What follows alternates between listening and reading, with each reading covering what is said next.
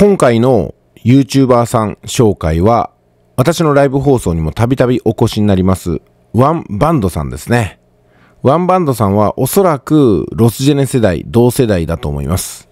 今までに18本の動画を出されてまして、チャンネル登録が89人いらっしゃいますね。で、どんな曲を出してるかというと、新作は、えー、消滅都市静岡シティオリジナル曲、市民から税金を巻き上げる。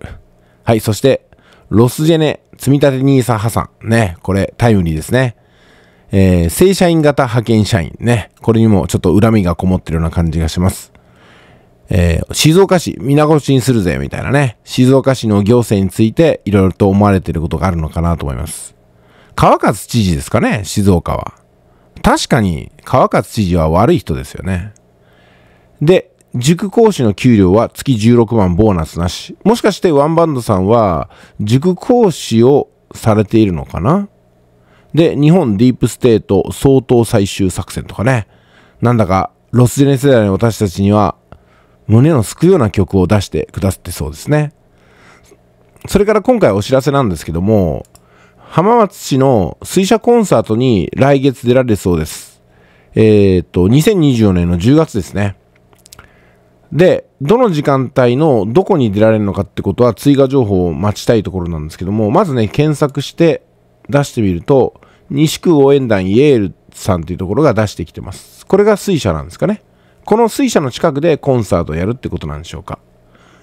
えー、イサミふれあい水車コンサートでいいんですかね。多分これだと思うんですけどもね。いろんな年代の、そしていろんなジャンルの方が出ていらっしゃるのがわかります。客席ですね。あ、こうやってオーケストラ。地元の中学か高校のオーケストラも出てますね。はい、場所はこちらということですね。森の水車公園。お近くの方はぜひ。アクセスは浜松西インターチェンジより車で5分。浜松環状線の伊佐地町交差点。ね、そういうことになってます。はい。お問い合わせは、浜松市市役所中央区西行政センターの方へお願いします。電話番号053-597-1112ですね。で、さらに別の情報、水車の公園、響くなんとかって書いてますけど、これはどうでしょうか？見つかりませんでした。静岡新聞デジタルの方ではすでに記事が削除されています。3つ目、浜松市公式ホームページ、伊佐美小学校ブログが引用されてますね。あ、これは、コンサートに出られた模様ですね。昨年の10月です。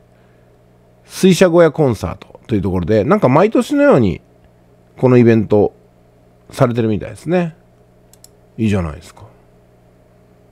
はい。その他ね、この浜松市の水車コンサートで検索すると、いろいろと情報見つかると思いますので、あとは皆さんで。それでは、ワンバンドさん、頑張ってください。